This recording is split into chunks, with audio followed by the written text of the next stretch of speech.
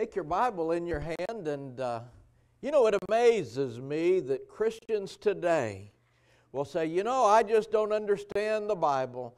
I especially don't uh, understand that last, cha- uh, that, that last book of the Bible, Revelation, so I don't read it. And then someone else will say, well, I don't understand the Bible. I don't understand that first book of the Bible, Genesis, so I don't read it. Listen, folks, this is God's Word from cover to cover. Amen? And every word of this book is absolutely true.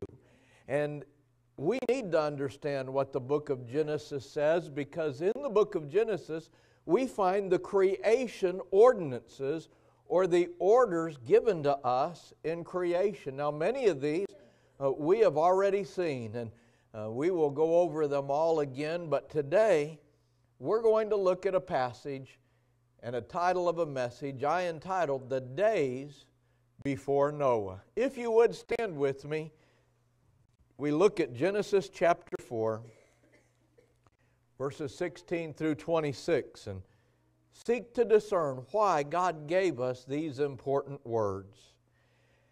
And Cain went out from the presence of the Lord. Folks, that's not a good thing to leave the presence of the Lord. Sounds like our nation today. Leaving the presence of the Lord. Sounds like our world today. Leaving the presence of the Lord. And dwelt in the land of Nod on the east of Eden. And Cain knew his wife, and she conceived and bare Enoch. Now, there are multiple Enochs. Let's not be confused. This is Cain's son, Enoch. And he builded a city and called the name of the city after the name of his son Enoch. And unto Enoch was born Erad, and Erad begat Mehujael, and Mehujael begat Methusael, and Methusael begat Lamech. And Lamech took unto him two wives. The name of the one was Adah, and the name of the other was Zillah. And Adah bare Jabal. He was the father of such as dwell in tents and such as have cattle. And his brother's name was Jubal. He was the father of all such as handle the harp and organ. And Zillah she also bare Tubal-Cain, as instructor of every artificer in brass and iron. And the sister of Tubal-Cain was Naamah. And Lamech said unto his wife Adah and Zillah, Hear my voice, ye wives of Lamech. Hearken unto my speech, for I have slain a man to my wounding, and a young man to my hurt. If Cain shall be avenged sevenfold, truly Lamech, seventy and sevenfold. This was a violent man. And why would he say such a thing to his wife? Maybe to threaten her? We live in a day of, of abuse in homes. I believe this man was the, was the author and father of that. And Adam knew his wife again, and she bare a son and called his name Seth. For God, said she, hath appointed me another seed instead of Abel, whom Cain slew. And to Seth, to him also, there was born a son, and he called his name Enos. Then began men to call upon the name of the Lord. Notice that. When Seth came and Seth had children, then, instead of leaving the Lord, now they are calling upon the name of the Lord.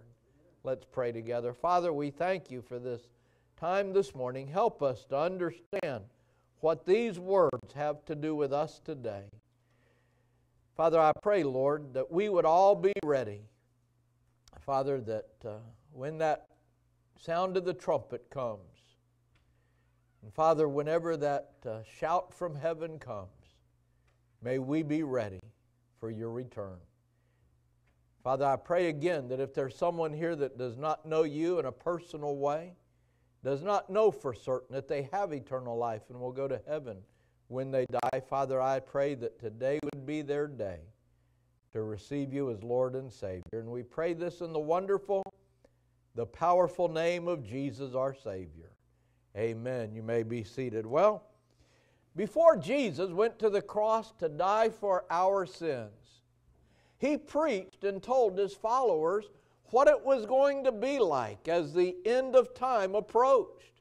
And he said this He said, It will be as the days of Noah. In fact, if you were to look today at what's called the Olivet Discourse, when Jesus was there on the Mount of Olives and, and preaching and sharing with his disciples that there would come a time when this age would be wrapped up, when there would be a shout from heaven, there would be the trump of the angel, and, and the Lord would descend for his children. Listen, there's a clear blueprint for the end of times, and, and here we see what he had to say. Now, you may be thinking, Pastor, what does that have to do with that passage you just read? Well, the answer lies in what Jesus said in Matthew 24 37. But as the days of Noah were, so shall the coming of the Son of Man be. You see, Jesus made it crystal clear that there was a comparison between the days we have just read about and the things that the world will be like at the time of his coming. And so we need to observe the characteristics that were prevailing at the time of Noah's day. Let me share with you that we saw a division, didn't we? A division between Cain and his offspring and Seth and his offspring. You see, Cain and his offspring were moving away from the Lord but Seth and his offspring were returning to the Lord. Well, let's look because the days before Noah were characterized by prosperity. Church, listen to me. We've got a color barrier in our nation today. And as I travel around Yulee and this area, and I knock on doors in trailer parks and apartment complexes and in homes, the color barrier is the color green. You see, some people have it and some people don't. It's, uh, it is amazing to me that that's what really separates people.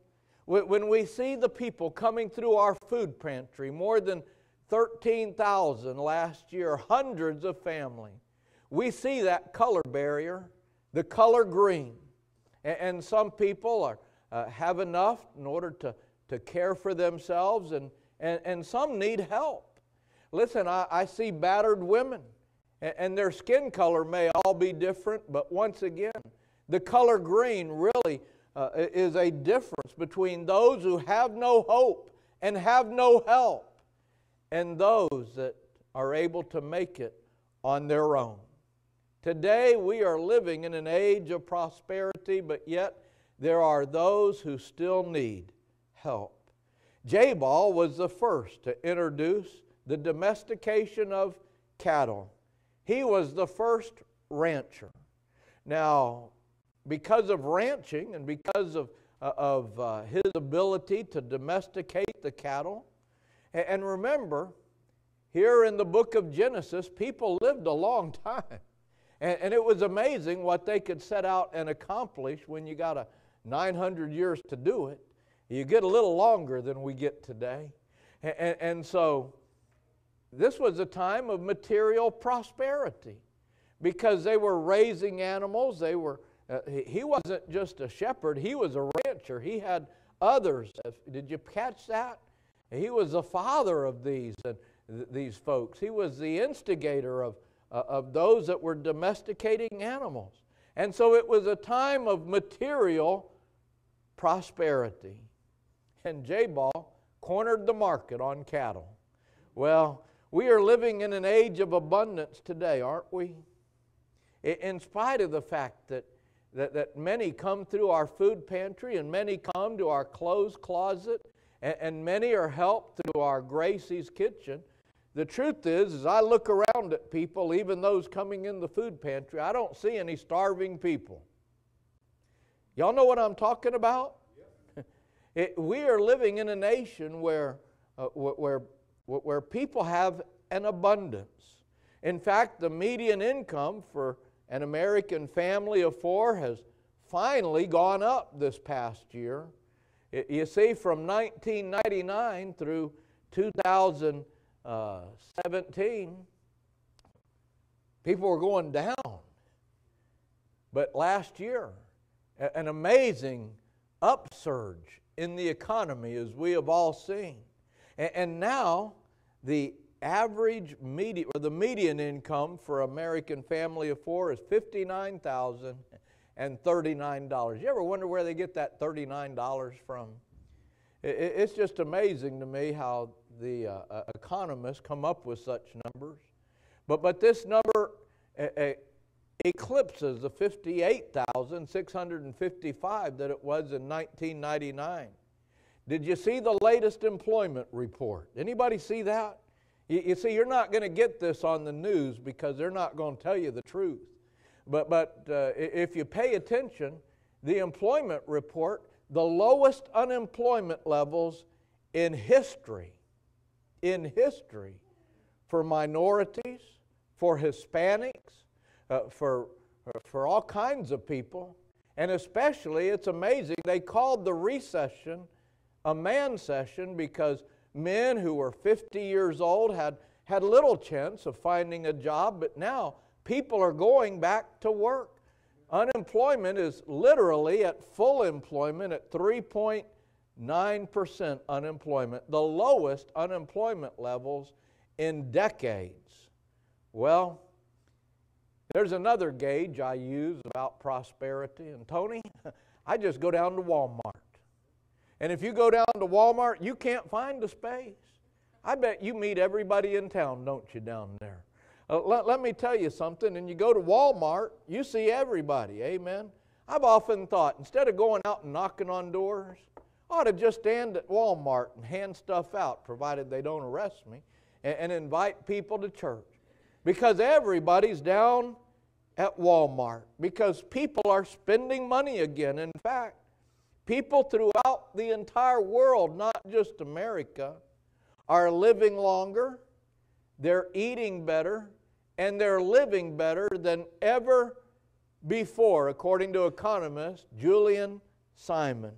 Why, we are living in an age of prosperity. And Jesus said, As it was in the days of Noah, so will it be when I come again. We are living in days of prosperity. Second of all, the days before Noah were characterized by pleasure.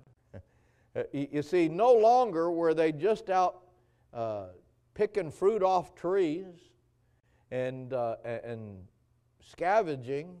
Now they've got uh, cattle that are being uh, domesticated. There's food in the market. And so now there's time. And once again, when you live 900 years, you got lots of time. So Jubal had time, and he invented musical instruments, and he was the father of the entertainment industry, I'm going to tell you. You see, did you see where he invented these musical instruments so that people could have the enjoyment of, of music? Now, we are living in a day and an age where people are seeking pleasure. In fact, in 2017, $12.4 billion dollars were spent on movies. I'm going to tell you something, they didn't get much of that from me. uh, but, uh, but, but movies, people are just uh, uh, looking for something to fill their time and fill their mind. They want to be entertained by Hollywood, I mean, Hollywood people. It, it, it is amazing to me the, uh, the desire to be entertained today. Not only are they entertained by Hollywood, but they also are entertained by, by all kinds of other things. In cities across America, there are statues that are worshiped by people's money. There are lions, there are bears, there are tigers, and yes, there are elephants up in Alabama, and there are jaguars in Jacksonville, and people will take their money and they will bow down at the feet of these animals across America and they will give up hard earned money uh, to park their cars and go see cheerleaders and go see football players and, uh, and, and just be entertained. Folks, listen to me. We are entertaining ourselves to death. Do you realize that? In a world where we could be meeting the needs of others and sharing the gospel that would fill people's hearts, we're more interested in being entertained. And if we're not going to ball games and watching movies and streaming entertainment into our homes over streaming players, listen to me, we're finding some other way to be entertained. We are in a pleasure, entertainment mad society. Would you agree with that? Well, the days before Noah were characterized by prosperity, they were characterized by pleasure, and they were also characterized by progress. Now, notice this Tubal Cain discovered how to extract metal from ore, and he invented the smelting business.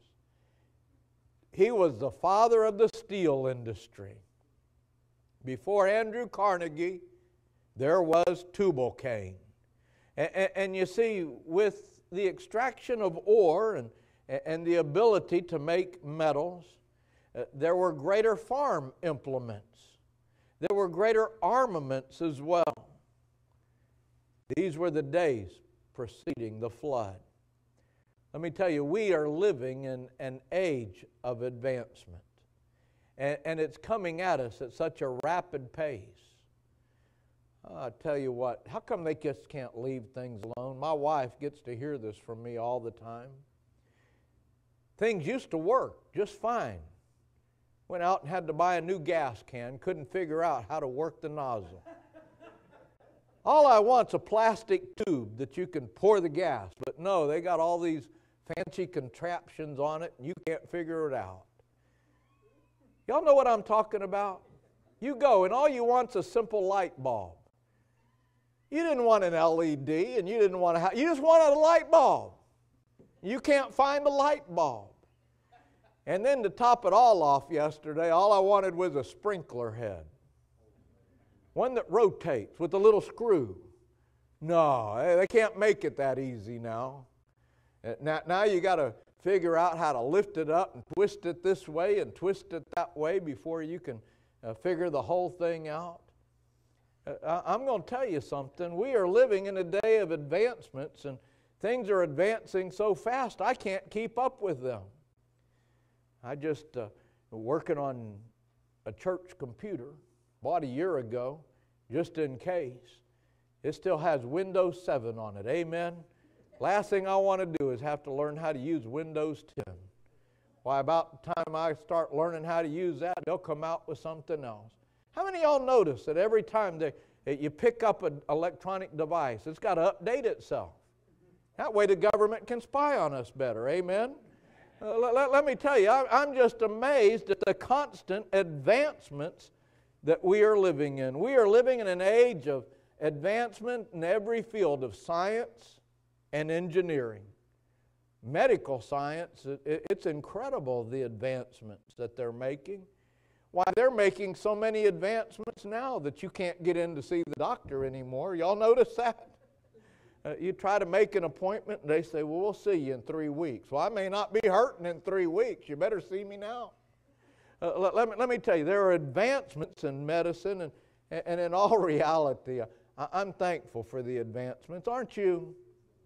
I know it can be confusing, and if you're like me and you're getting a little older, it can be a little irritating, but uh, but, but I'm thankful for the many advancements. We are living in a time of unprecedented advancements.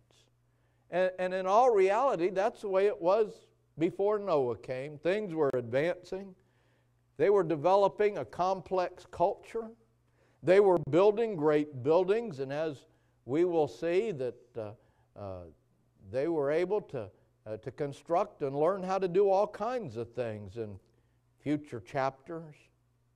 However, I want you to notice one other thing. In spite of the pleasure, in spite of the prosperity, in spite of, spite of the progress, they were moving away from the Lord. Does that sound familiar? You see, we are living in a world with progress and prosperity and pleasure, but instead of people realizing that they're blessed by a holy God, they've turned their back and they're walking away from the Lord. And so that brings me to one more thing I want us to point out and look at today, and that's verse 24. In verse 24, we see that they finally came to the place that the time was characterized by perversion. And first of all, I want us to look at the spiritual perversion. As we look at the life of Cain, who was the father of this lineage that we just looked at, he was spiritually perverted. What do I mean by that? And I know we've already covered this.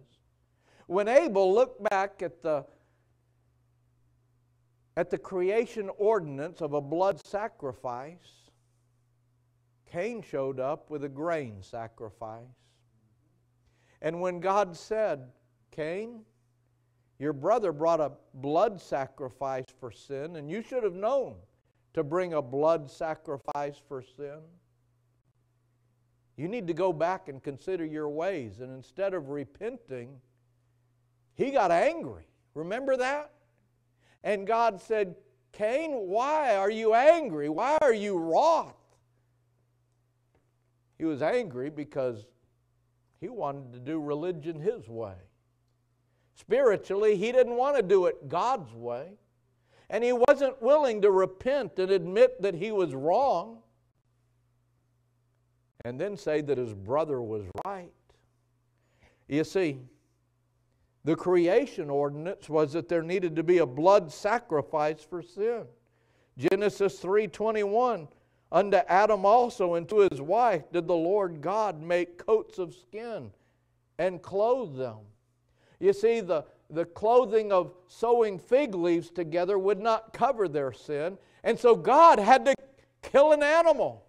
And death entered the world. And Adam and Eve had to watch as that first animal was killed and death entered the world and the blood was spilt. And it was a horrible sight.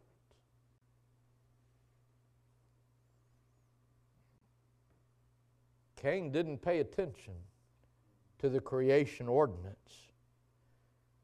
He didn't care about the need for a blood sacrifice. He wanted God to accept whatever he brought to the altar. God said it doesn't work that way. You see, there are going to be many people on Judgment Day who are going to say, But God, I did this, and I was religious in this way and that way. And God's going to say, in fact, this is recorded in Matthew chapter 7. Jesus is going to say, Depart from me, I never knew you. You see, there's only one way to come to the Lord. Jesus said, I am the way, the truth, and the life. No man cometh unto the Father but by me. People say, But Pastor, you're being very narrow. Listen, I'm not being narrow. Jesus said He's the only way. Uh, the Bible says there's no other name given under heaven by which men must be saved.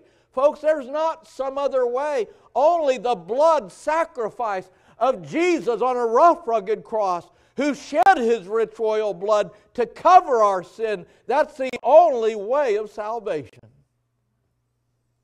But you see, these were days of spiritual perversion.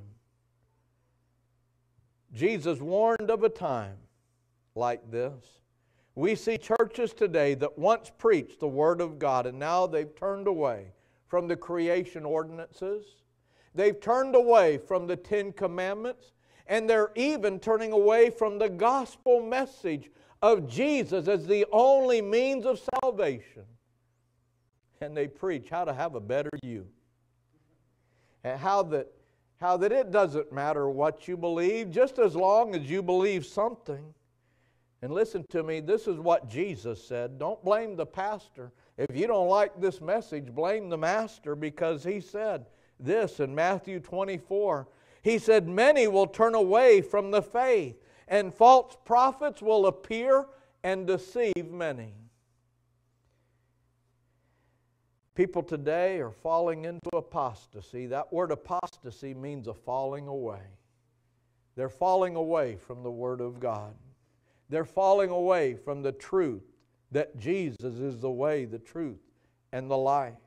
In fact, they are openly embracing satanic worship and the occult.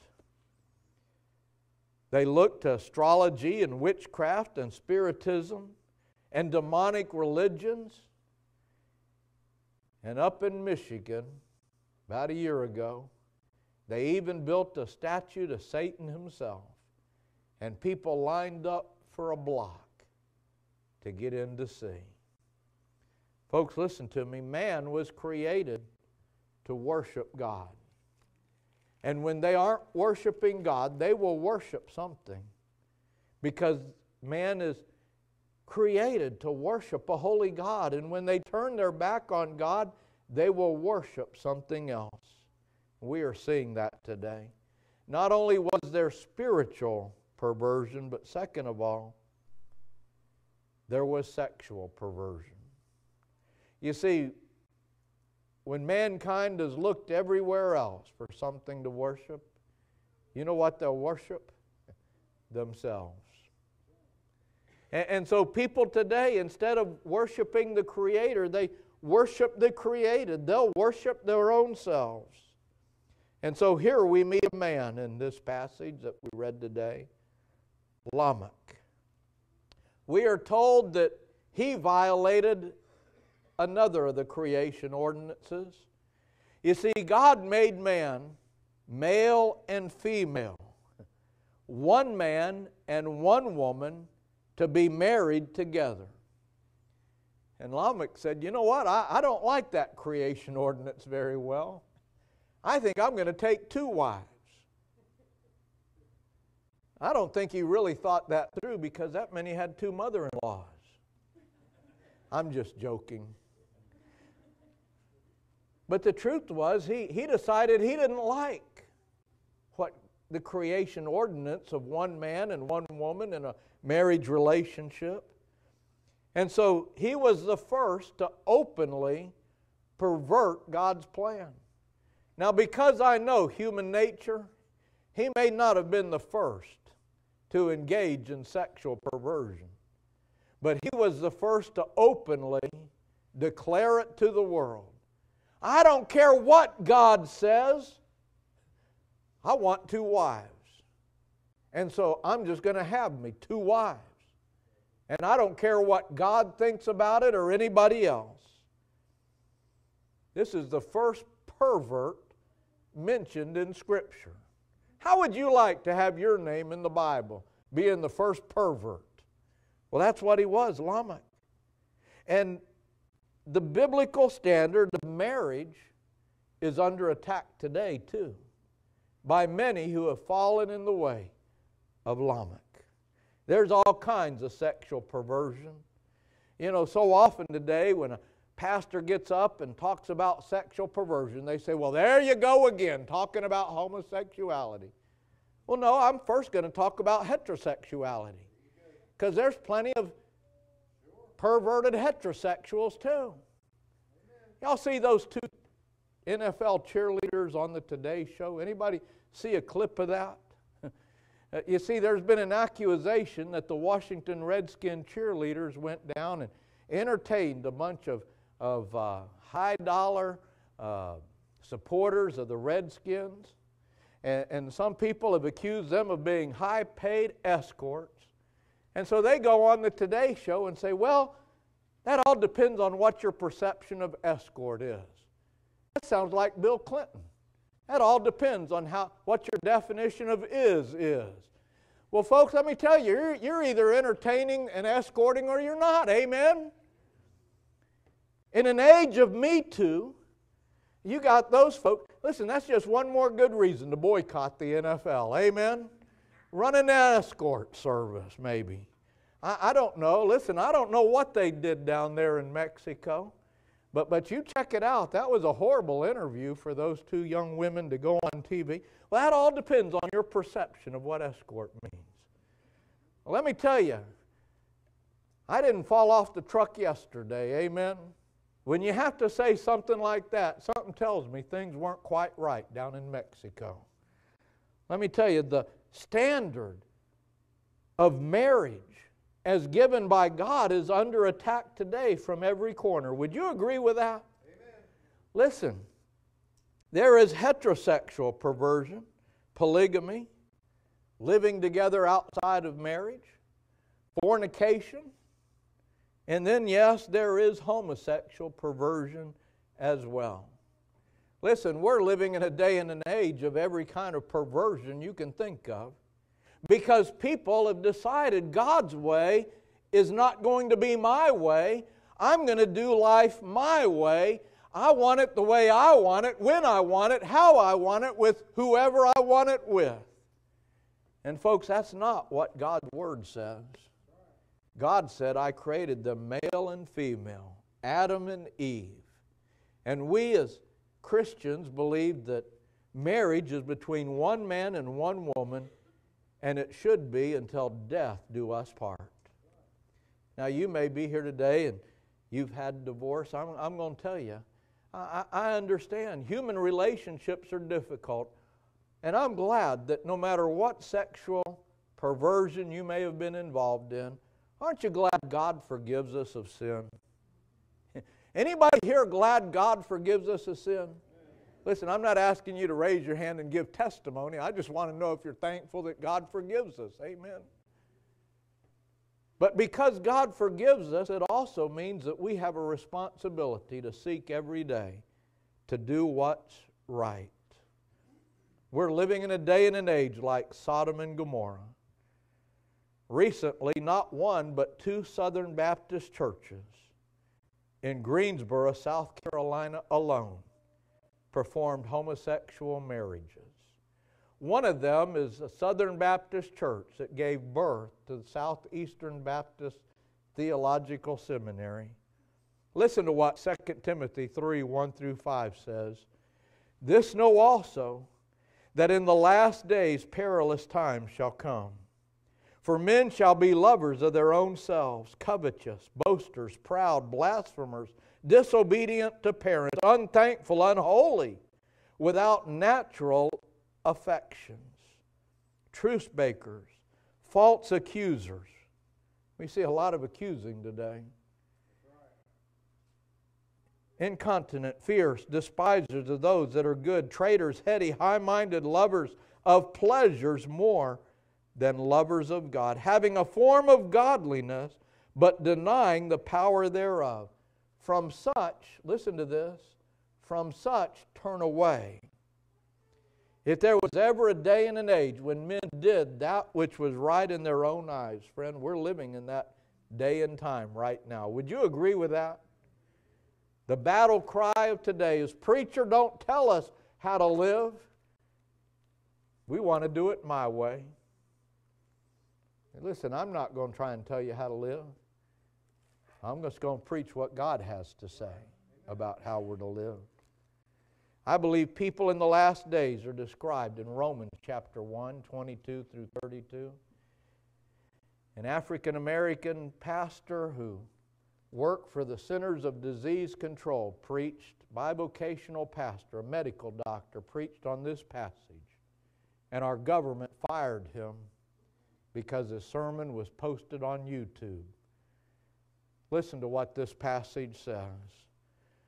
Professing themselves to be wise, they became fools and changed the glory of the uncorruptible God into an image made like to corruptible man, and to birds and four footed beasts and creeping things.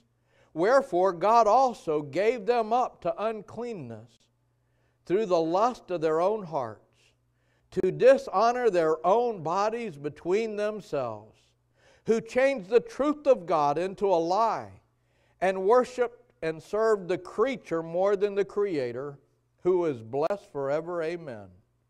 For this cause God gave them up into vile affections. For even their women did change the natural use into that which is against nature. And likewise also the men, leaving the natural use of the woman, burned in their lust one toward another, men with men. Listen, that's what got that preacher fired for preaching about homosexuality. Listen to what the Bible says about that. Working that which is unseemly and receiving in themselves that recompense of their error, which was meet or was acceptable. And even as they did not like to retain God in their knowledge, God gave them over to a reprobate mind. Listen, you want to say, God, I'm free to do what I want to do. You know what God's going to say? Yes, you are. Go on. To do, to do those things which are not convenient, being filled with all unrighteousness, fornication, wickedness, covetousness, maliciousness, full of every envy, murder, debate, deceit, malignity, whisperers, backbiters, haters of God, despiteful, proud, boasters, inventors of evil things, disobedient to parents, without understanding, covenant breakers, without natural affection, implacable, unmerciful, who knowing the judgment of God that they which commit such things are worthy of death, not only do the same, but have pleasure in them that do them. That's where we are in our world today. Doesn't that describe America today? Doesn't that describe the world today? And you know where perversion leads? Ultimately, it leads to murder. Did you see what Lamech said? He said, I've killed people. He told his wife, I, I, I've killed people. We are living in a day and an age of murder. Have the days of Noah arrived again? Can you see the signs of the time? Jesus said, And when these things begin to come to pass, then look up and lift up your head, for your redemption draweth nigh. Church, I believe the world is ripe for God's judgment to come upon it. If I were you in days like this, I'd make sure that I was saved. Do you know for certain that if Jesus comes today, that you've been forgiven of your sin, that you have a relationship with Him.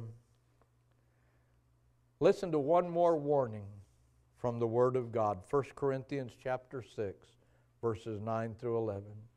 Know ye not that the unrighteous shall not inherit the kingdom of God?